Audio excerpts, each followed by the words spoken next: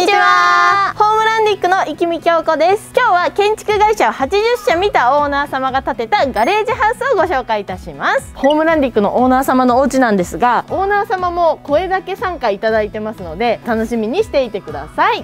この動画の最後に間取りと建築費用を公開しておりますので最後までご視聴ください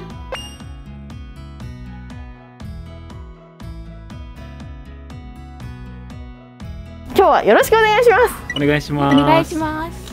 楽しいですね。楽しいですねはいまず外観なんですけどもザ・ガレージハウスっていう感じで正面が首都の塗り壁濃いグレーと淡いグレーの組み合わせでございます一部分に外壁にタイルを貼ってありましてとってもモダンでスタイリッシュな素敵な外観になっていますテラ、アルティカ、グリジオ内用を使ってます。ありがとうございます。このガレージの扉はレムコさんのオーバースライダーシャッターです。表面の材が高級感があってかっこいいです。中からまたご紹介しますね。では早速行ってみましょう。首都もコントラストが強すぎない組み合わせで色を選ばせてもらってます。とっても綺麗ですね。はい。では中お邪魔します。じゃん。こんな感じです。まず入ってですね床がこちらタイル張りしてあります。名古屋モザイクの PAX4530 の品番を使ってます。馬張りにしてありまして目地揃えてない感じがまた素敵です。入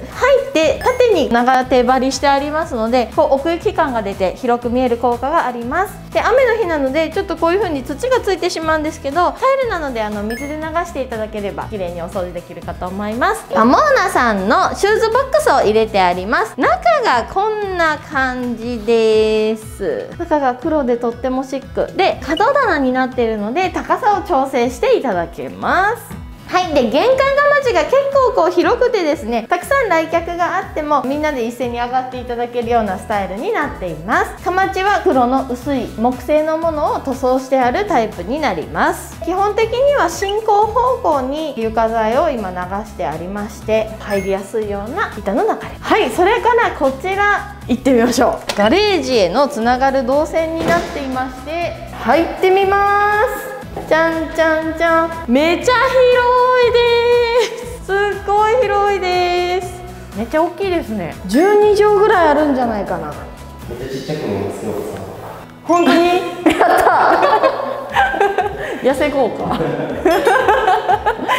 こちらはクロス張りしてありまして下が基礎がこう立ち上がってるっていう形になります。全体的にグレーと濃いグレーでとってもシックに仕上げてあります。オーナーさんこれ開閉ですか？どうぞ。よしじゃあオープン！この音も近未来感が、かっこいい。静かですね。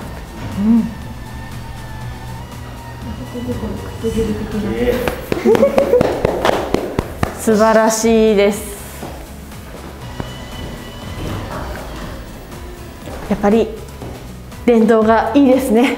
素敵ですガレージを作るにあたってこだわりありましたか？シャッターなんですけど、通常の巻き上げ式の電動シャッターだと、まあ音がうるさいっていうのと開閉に時間がかかるっていうことと金属を巻き上げて擦れてしまうので物持ちをより長くしたいなというところでオーバースライダーのシャッターにしました。ガレージを作ることは前提でいろんな会社を見てたんですか？家を建てるっていう時にガレージが欲しいというところから始まってガレージのある家を建てた実績のある設計事務所さんっていうところをいろいろ調べてホームランディックさんを選ばせてもらったというところになります。土地も探されてるところだったのでガレージハウスをやろうとすると間口何メーターいるんだろうっていうところから始まってじゃあ間口9メーターとかでしたかねあれ。9メーター10メーターぐらい、うん、9メーター10メーターぐらいあるとこういう間取りでこういう土地の間口でガレージが生えますよっていう感じで話してたら本当にドンピシャの土地がポッとこう出てきてあれ？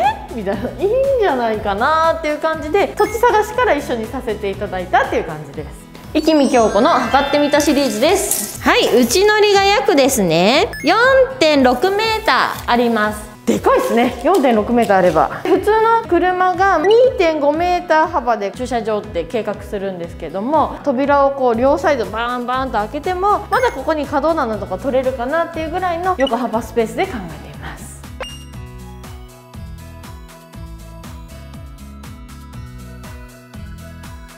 えーこちらがですねじゃじゃーん！面台になります。帰ってきてすぐこう手が洗えるような間取りになっています。こちらの洗面台ですがボールはアイカの人工大理石カウンターを使用してます。タイルは平田タイルのアレグロ ALO の 2020W という品番のものを使用してます。さすがアイカさんでつなぎ目がない一体型カウンターっていうのはお掃除もしやすくてとっても楽ちんですね。であとこのタイルも素敵ですね。最近流行りのテラゾー柄のタイルを使ってみました。とっても素敵です。鏡が三面鏡になっていますのでたくさん収納していただけますで上には間接照明をつけてありまして結構白目なんですがお化粧とかするのにはちょうどいい明るさかと思います。はいで洗面台の奥行きですがこちら520となっております。下には棚が1枚ついています。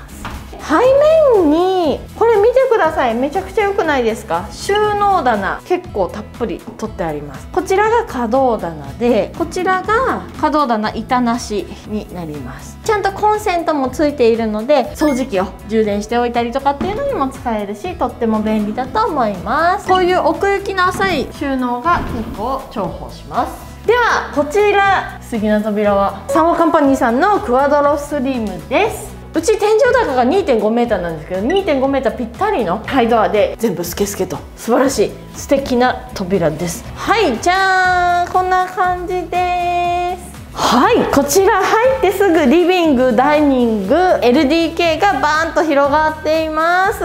リビングには結構こう大きめのソファーも置くよという家具から決まっていたので設計配置をさせていただいてます。こちらですねお庭ビューでソファーを配置する予定でございます。大きなフィックス窓めちゃくちゃ大きいですねこれね。大きいフィックス窓に横がテラスドアの組み合わせでしてここから外に出られます。窓と窓の間には木をですね黒く塗装してありましてサッシがつながるようなそういったコーディネートにしています。とってもこだわられたのがこちらのテレビ台になります。ここ 3.5m ほどあるんですがドドーンとこうですねテレビ台配置とやってありますね。テレビ壁面はポーターズペイントを塗ってあります。夫と2人で頑張って塗りました。はい。テレビ台はマモーナさんのテレビボードで幅ぴったしの組み合わせがあったので3つ組み合わせてまして幅ぴったしになるよう配置してます。こんな綺麗につくんですか？ねえこんな綺麗につくんです。コンセントこだわりましてあはい。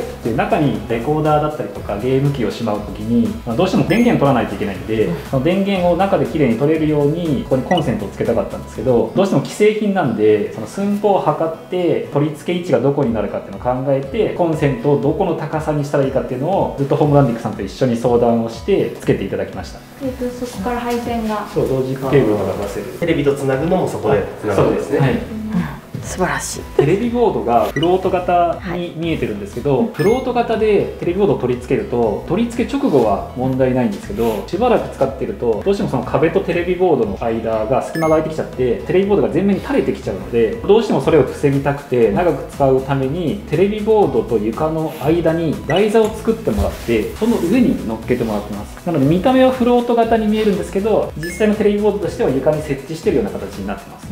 素晴らしい見えます。はい。奥までどの道使わないですしね。長く住むことを考えて作っていただいてます。自分たちで塗ったんですか？自分たちで、はい、こんな綺麗にやれるもんなんですね。ポーターズペイントはセルフペイントするのも推奨してましていろいろ塗り方とかも教えてくれると。特徴としてはこうねあの粒がこう入っていたりとかわざとムラムラにして濃淡があって高級感のある壁にできるのですごいポーターズペイント私も大好きですいつもうちで使ってる ベンジャミン・ムーアとはやっぱり違うんですかね？ベンジャミン・ムーアはどっちかというと素人が塗っても色ムラが出ないよ綺麗に塗れるよっていうのが特徴でポーターズは逆でこう色ムラをこうわざと出す。言い方悪いけどへちゃっぴな人が塗ると結構あのムラムラ感も違和感のあるムラムラ感になっちゃうのでちょこっとコツはいる方かなとは思いますけども仕上がった感じはもう抜群に素敵ですね。じゃじゃーん。中が黒でかっこいい。これもパモーナさんののテレビボードと同じ種類のウォールシェルフを選んで統一感が出るような形で選んで設置位置もこれすごい悩んだんですけど。すごいあのオーナーさんが黄金比とか白銀比とか考えてこの設置位置をここからどんだけここからどんだけって言って考えてくれました。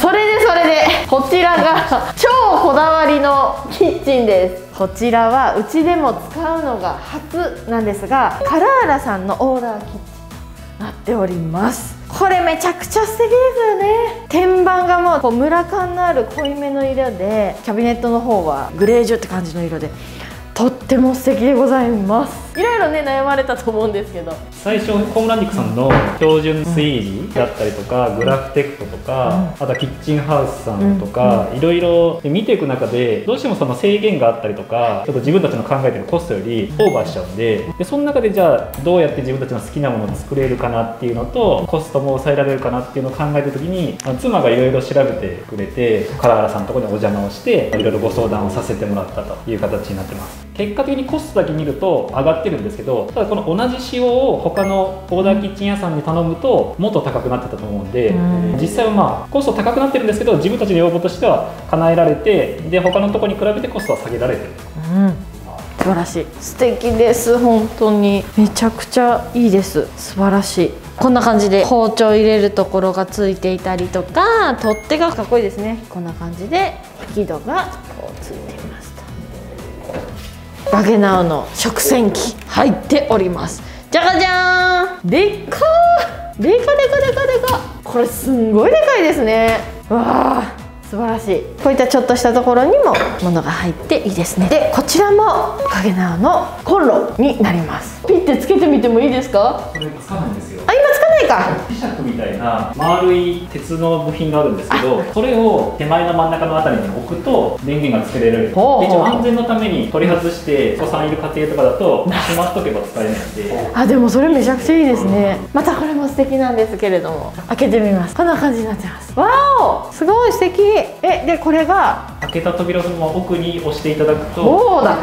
おおすごいじゃないですか。ちょちょちょちょちょちょちょ。ちょちょ開けっぱなしで使いたい時ってすごくあるのでめちゃくちゃ便利です。これも同じ、はい。今ってデザイン家電がすごい増えてきてると思うんですけど、うんまあ、そういったもので全部揃えられればいいと思うんですけど中にはその自分たちが使いたい方法とか、その調理の仕方によってはあのデザイン家電じゃないものを置かないといけないこともあったりしてでそういったものをずっと見せとくのってちょっとあんまりおしゃれじゃないなと思って普段使ってる時はもう開けっぱなしにして使えばいいんですけど誰かお客さんとか来られた時はあのそこ閉めて隠せるようにって形で。でデザイン家電はもう見えるところに置いといてもいいよと。あ開閉もめちゃくちゃ楽です。すごくいいです。おおいいですね。素晴らしい。はい。それから背面デュエをすごくね長く使っていただいてます。素敵なタイルが貼ってあるんですけど名古屋モザイクさんのノール ORU3400 の品番を使っていただいてます。あすごい。これ全部外れた。外して移動ができる。おおこうなっています。外して移動もできるのでお掃除も楽々だしちゃちゃちゃちゃちゃで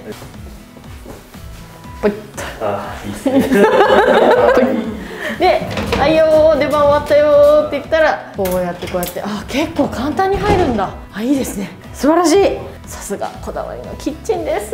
ダイニングキッチンのところは床材を変える場所をとっても迷ったんですけれどもちょっとこうキッチンからオーバーめに切り替えをさせてもらってます。こちらの塩ビタイルは三月さんのブリーズストーン IS の878の A という品番になります、はいとってもマットでですね高級感のある素材になっております。ダイニングの反対側にはカウンターをつけまして書斎コーナーのような感じで使うお庭が眺められるスタディコーナーを作っております。外交これからされますね。まあ庭を覆うようにフェンスで囲うのと芝を敷いて植栽を植えていただくようなことを考えてます。癒されそう。パソコンやっててヒュッとこうお庭が見えるとかっていうのもね素敵な窓ですね。えこちらのカウンターですが奥行きが450です。カウンターの高さが720となっております。海外の椅子とかが流行ってきて日本の椅子より高いんですね。でそういうのに合わせるとカウンターの高さ720がちょうどよくてホームランディックでは推奨しています。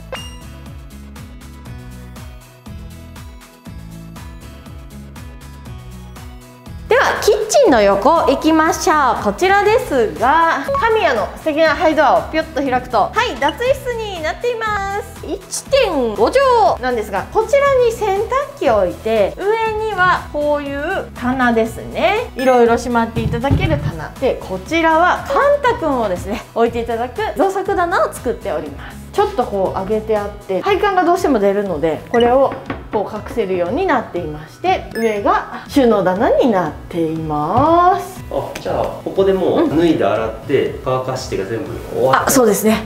脱いで、えー洗ってカンタクにポンポンポンポンポンと移動して乾いたものを持っていく。カンタクに入れられないものはここにかけれるようにパイプを用意してあります。じゃあ1個で完結一本で完結ですね。確かに。ははい。でそれからこちらがお風呂になります。ユニットバスです。TOTO さんのサザナです。やっぱりカウンターなしにされますよね。掃除のことを考えて必要なものは残していらないものはちょっとオプションで外していただくってことをしました。照明が LED の埋め込みにしたんですね、通常のやつだとあの壁に電球がついてるのでそうそうそうそうカバーと一緒にであそこに結構ホコリが溜まったりとかして、ちょっと掃除が手間なので、もうそれもなくすっていうところで天井付けの LED タイプに変更しました。はい。結構するんですよね照明変えるのって。そうですね。照明変えて壁変えて、うん。でそのタオルをかける端の部分も追加したりとかしたんですけど、はい。でもその鏡をちっちゃいものに変えたりとか、カウンターなくしたりとかして結果的にですねそんなにあの標準の価格からそんなに変わらなかったですね。あ素晴らしい。賢いコーディネートされましたね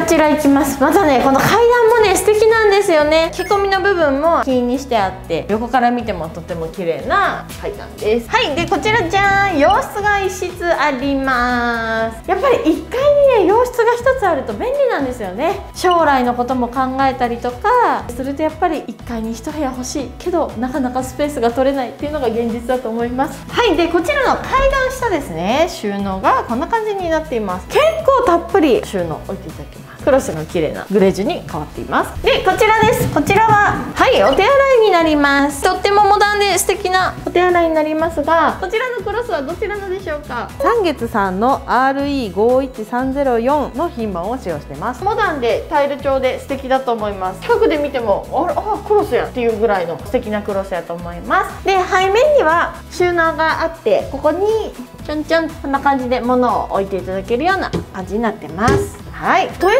内には手洗いを設けてましてこのタオルバーの付け方がユニークですね。拭きやすい位置だと思います。角大さんの壁掛け手洗い機というものなんですが品番は493の087という品番になります。こちら廊下なんですけどもダウンライト仕込んであるんですが光源が直接見えないように取り込みしてありましてその中にダウンライトを隠していると。手の凝ったやり方をしてます。これかっこいいですね階段のアイアンの手すりなんですけどこれ最初1階からぐるっと回って2階まで続きのアイアン手すりで考えてたんですけど、そうするとどうしても回り込まないといけないんで階段の通る部分が狭くなってしまうのでね。どうしてもここを広く取りたくてじゃあどうしようかなっていうのをその現場監督の方といろいろ相談をして最終的にそのセパレートにして一旦天井につけてしまって階段部分は固定してしまうと。で2階の部分は2階の部分でまた独立をさせれば広くできるよねっていうところでこういう形にしました。このまま手すりもぐるーっと上まで続いてるようにすると、はい。ここからしかできなかったですね。そうですね。せっかく階段この横幅広く取ってもらってるので、なるべく有効に活用したいなというところでこういう形にしました。素晴らしい。はい。階段上がってすぐですがじゃーん収納がついてます。これダウンライトもちゃんとついてるので夜とかね探したい時にはとても便利な照明ですね。1階と同じように中だけベージュにしてあります。で、えーこちらのね素敵なこれいいですよね。手掛けが上から下までのスリットになってるっていうタイプです。こちらを開けると実はこちら書斎スペースです。はいめっちゃ広いんですよ。結構ですねご夫婦ともにリモートワークが多いので書斎贅沢に使ってあります。ライティングレールあるのでシーンによってとか今後のね机の配置とかに合わせて照明の配置変えていただけるようになっています。でとっても可愛いんですけどここにソファーを置いてリモートしてる旦那さんを眺めたいという。可愛い奥さんの。ここにソファーを置く予定をしています。可愛いんですよははいでこちらもこちらも実はじゃじゃーん本当はここもリモートワークスペースになっています。でこの家窓を通してご夫婦が個別にリモートできる。ただちょっとこうつながりがあるようなそんな家窓がこちらになります座って仕事してる時はお互いの視線が気にならないんですけど、はい。立った時に相手の顔が見えるよっていうなるほど。するためにあのちょっと高さをいろいろ考えてこの高さにしました。そういうことですね。これがまた可愛いんですよ。あちら側が奥様でこうちょっとこう覗いて顔が見たいよっていうそういう小窓です。可愛い。もうね見てるだけでほっこりするんですけどラブラブですこのですねちょうどいい高さっていうのが下場が1350になります。座ってる時には視界が遮れて立ってこう覗きたいなって思った時に覗けるような高さになっています。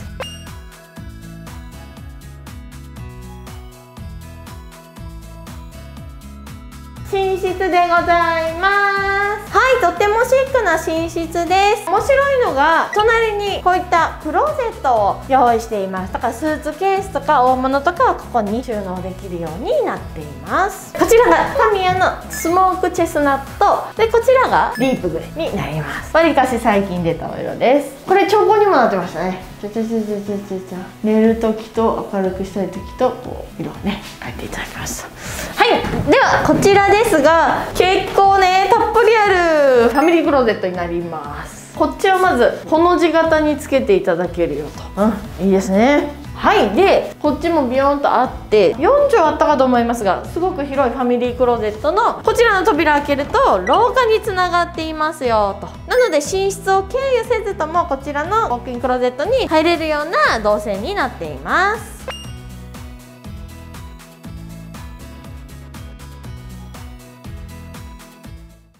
発注者見られたっていうのはどのぐらい時間かかりました？かそう1ヶ月もかからなかったですね下調べから。始まってるから。あ下調べから始まっ 下調べはどんなこと？を下調べは、その自分たちがまずどんな見た目の家がいいかっていうのを考えるってところと、まあ、大体最低な条件はこれぐらいだよねっていうのをイメージをすり合わせるっていうところが最初の下調べですね。でそこからいろんな会社さん見て1ヶ月弱ぐらいで80社程度比較をしたっていうところですね、よく高気密高断熱のお家がって言われ始めてて、そういうことを歌ってるハウスメーカーさんとかもいろいろいるんですけどどうしてもデザインとそこの性能のバランスがいいところが、うん。多分2人の住みたいお家なんだなっていうところが分かったので、そこを探していったらホームランディックさんが私たちの中ではベストマッチだうんったので、ホームランディックさんにお願いしようとなりました。ホームランディックは何で知った一番最初 YouTube だっけ？そうですね、一番最初に YouTube でたまたま出てきて即検討リストに。あー嬉しい やっぱりあの YouTube で見てるとどういう雰囲気なのかがすごい分かったので、うん。相談しやすかったというか、うん。はい、その人の雰囲気もそうですし家の雰囲気もそうなんで全部やっぱりその動画でざーっと写真だと一部分を切り取ってしか見えないんでその動画だとざーっと一連の流れ通して見えるんでやっぱそういうような情報をこちらも受け取る側としてはすごい良かったですね。80社ぐらい見て良かったことってありますか、やっぱり標準仕様が各社さん違うんでここの会社さんはこれが標準だよでもこっちは標準じゃないよとか逆にこっちの B 社さんの方はこっちが標準だけどあれは標準じゃないよってのがあってその標準仕様の違いだったりとか高気密高断熱っていう風で歌われてる会社さんでも性能値を出してないところって結構あるんでやっぱり数値を出して示してもらってるところの方がこちらもその具体的にどんな性能なのかっていうのは分かりやすいですし、まあ、誠実さも伝わってくるかなと思って各社さん色が違うっていうのと広報も違うっていうのとそういう違いを学べたっていうのが大きいですね。